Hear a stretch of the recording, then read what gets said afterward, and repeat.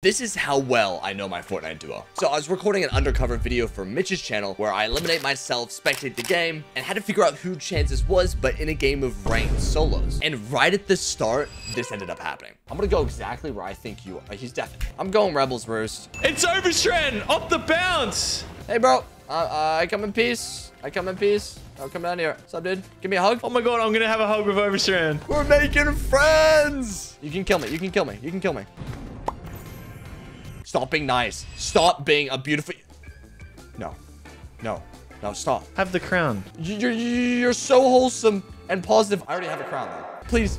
No, stop. Yes, please. No.